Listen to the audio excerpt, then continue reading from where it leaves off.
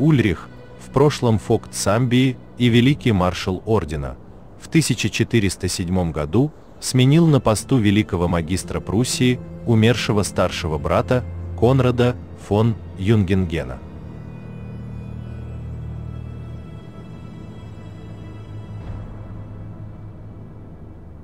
Его избрание сделало невозможным мирное урегулирование конфликта с польским королевством и Великим княжеством Литовским, поскольку магистр Ульрих являлся активным проводником политики натиска на восток.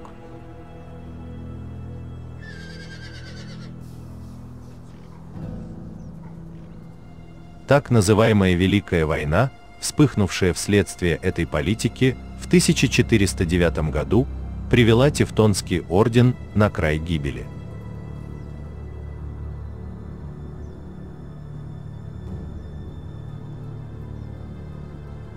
Поводом к развязыванию войны стал захват тевтонцами 20 польских кораблей с хлебом, направленных королем голодающей Литве. Большие грузовые суда, следовавшие по Висле с драгоценным продовольствием на борту, были перехвачены немцами у Рогнеты по личному распоряжению великого магистра.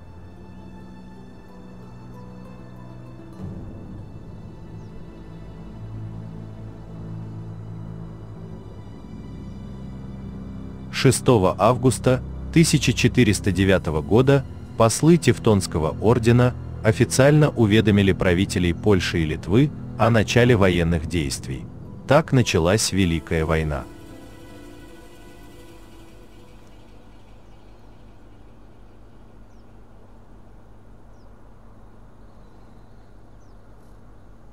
Главный удар крестоносцы направили на Добжинскую землю.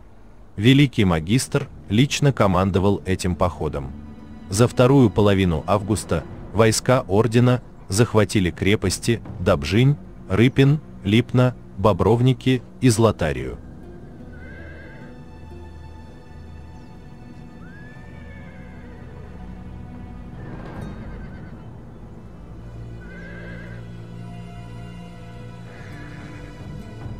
Начало войны застало польского короля врасплох. 4 сентября его войско потерпело поражение от рыцарей ордена под Вилунем. Однако литовская армия при поддержке жемайтийских повстанцев овладела замками Фрёденбург и Дубиса. 30 сентября поляки отбили Быдгощ.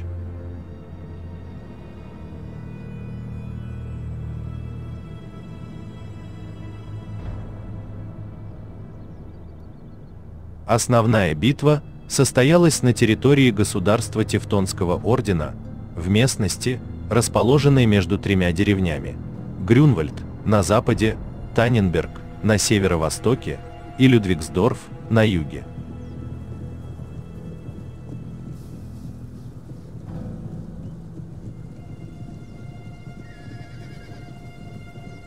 Магистр тевтонцев избрал оборонительную тактику, приготовившись отразить удары со стороны Польши с тем, чтобы удержать за орденом Добжинскую землю и Куявию.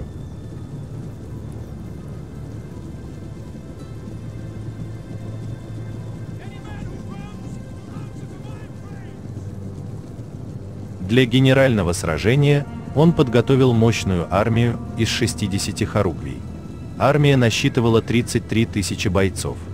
Из них 21 тысячу составляли рыцари и оруженосцы, 6 тысяч пехотинцы и еще 6 тысяч челядь. Помимо того, тевтонцы широко использовали артиллерию, у них имелись бомбарды различных калибров.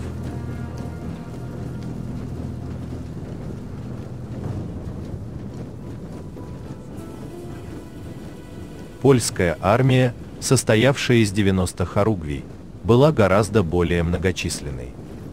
Ее ударной силой являлись 18 тысяч польских рыцарей, чье защитное вооружение лишь немногим уступало немецкому. Литовская и татарская легкая конница насчитывала соответственно 11 и 5 тысяч. Количество польских, литовских, русских и чешских пехотинцев доходило, по разным оценкам, до 20 тысяч.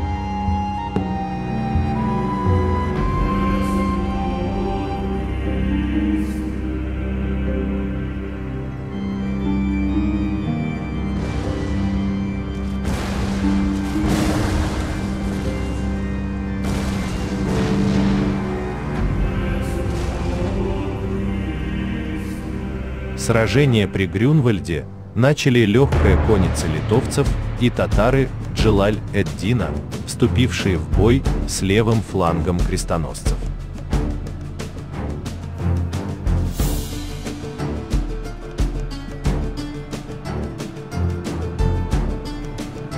Затем пришел черед тяжелой орденской кавалерии. 44 хоругви крестоносцев железной лавиной обрушились на польско-литовское войско, левый фланг которого составляли польские рыцари, правый – литовская конница, а средину занимала пехота.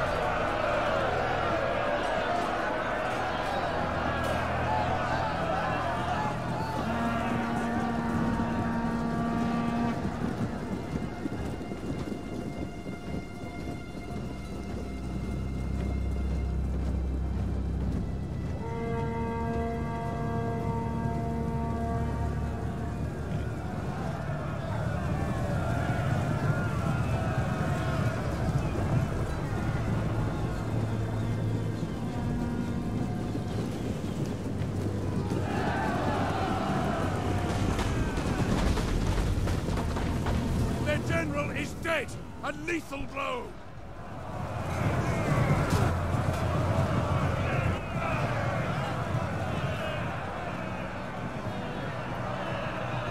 Правое крыло польских рыцарей надежно прикрыли смоленские полки. Здесь закипела самая страшная сеча. Один из смоленских полков был изрублен до последнего человека, два других потеряли более половины бойцов, но не отступили ни на шаг.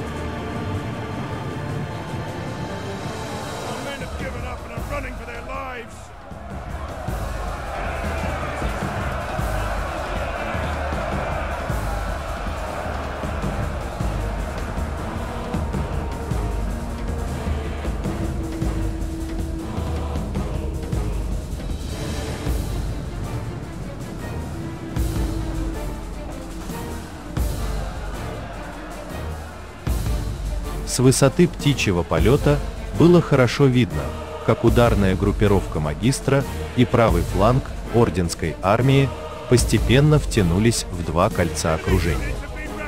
Теперь их участь была предрешена.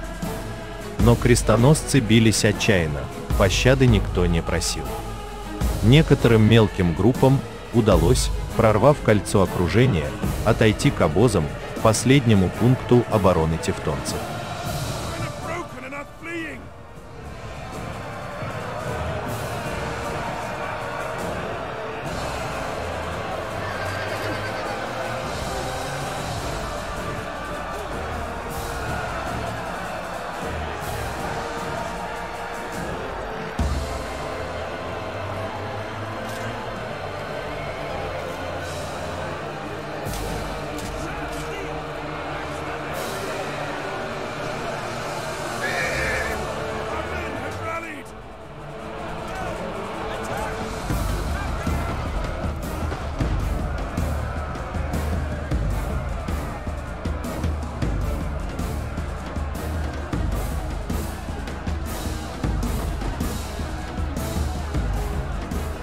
Ульрих фон Юнгенген, размахивая обогренным мечом, из последних сил отбивался от копий и рогатин, нацеленных на него со всех сторон.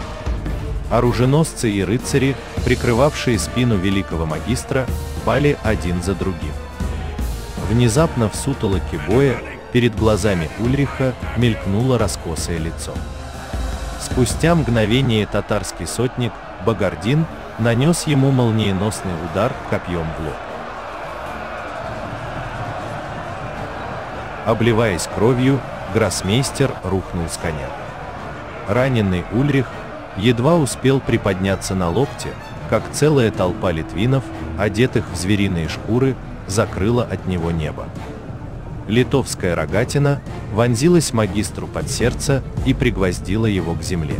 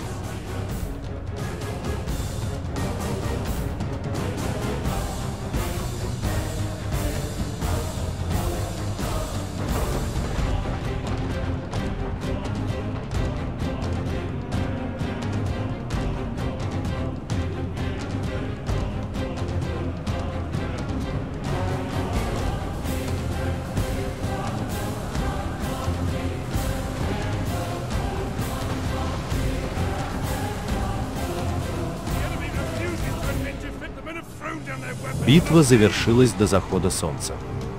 Орден потерпел катастрофическое поражение. В бою пали 18 тысяч крестоносцев, включая почти все орденское начальство, великого магистра, великого маршала, великого комтура, великого казначея, великого Ризничева, а также многих комтуров, командиров Харубий.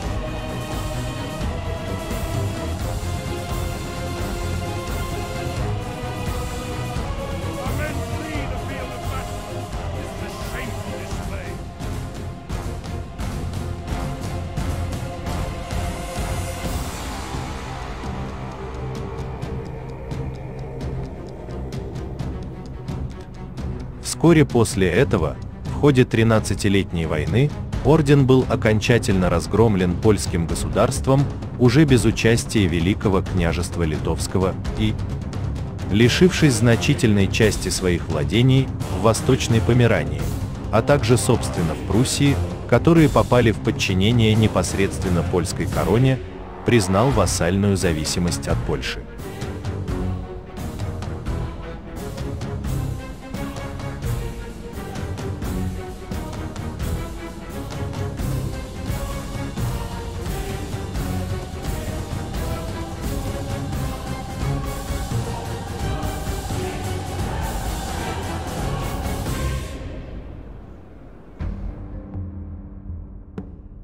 Орден просуществовал до 1525 года, когда великий магистр Тевтонского ордена Альбрехт Гагенцоллерн-Бранденбургский перешел в протестантизм и объявил о создании герцогства Пруссия, первого протестантского государства в Европе. –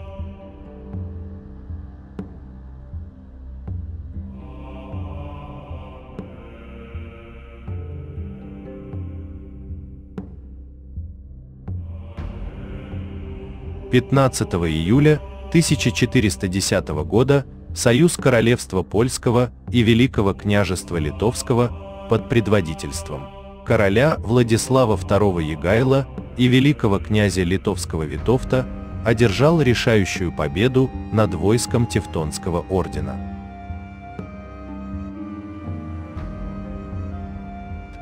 Грюнвальдская битва была одной из крупнейших битв средневековой Европы и является одной из важнейших побед в истории Польши, Белоруссии и Литвы.